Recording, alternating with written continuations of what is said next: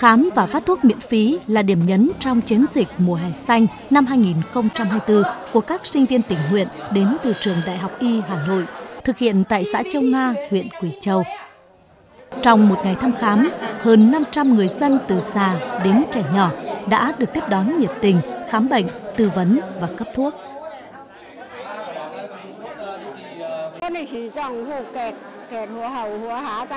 Bà thường xuyên đau khắp người, hoa mắt, chóng mặt. Khi được biết các cháu sinh viên tình nguyện đến thăm khám, bà đến đây và được các cháu tiếp đón nhiệt tình, dẫn đi thăm khám và đã nhận được thuốc. Bà rất cảm ơn các cháu.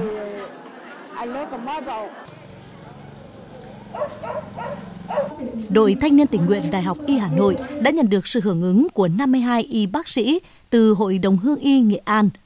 Đồng thời, Hội Thầy thuốc trẻ Nghệ An đã tự túc kinh phí 14 triệu đồng thuê máy móc hiện đại gồm 3 máy siêu âm, 2 máy điện tim, một máy giải phẫu bệnh và một máy khám thị lực. Nhà tài trợ đồng hành tặng 600 phần quà, tổng trị giá đợt khám và phát thuốc trên 80 triệu đồng. Bản thân thì là cũng là người đầu tiên có cái ý tưởng để xây dựng cái hội ờ, đồng hướng ờ, y Hà Nội, Nghệ An tại y Hà Nội thì cũng ờ, hôm nay cũng rất là cảm vinh dự và tự hào. Trong cái chương trình hôm nay thì tập trung rất nhiều các y bác sĩ ở các bệnh viện ờ, tuyến trung ương như ở Việt Đức, Bạch Mai, ờ, nội tiết trung ương và các bệnh viện tuyến tỉnh như là nội tiết tỉnh Nghệ An, đây là các bệnh viện thành phố. Cái hoạt động khám sức khỏe cho người dân ấy là dịp cho bà con được khám chữa bệnh. Tôi cho rằng là rất là tốt bởi vì ở đây là toàn đội ngũ à, bác sĩ à, rất là, là, là, là nổi tiếng tại các bệnh viện ở, ở Hà Nội về khám à, chữa bệnh cho bà con, đặc biệt là cấp phát thuốc miễn phí. Các đồng chí thanh niên cũng rất là nhiệt tình. Đặc biệt là cái việc thứ nhất là các đồng chí đến là phối hợp với đoàn xã là thăm và tặng quà các cái gia đình chính sách, người có công với cách mạng và các gia đình là một số một số gia đình là khó khăn. À, ngoài ra thì các đồng chí cũng hoạt động là, là, là, là dạy học, dạy tiếng Anh cho các cháu học sinh. Rồi đồng thời là phối hợp với đoàn là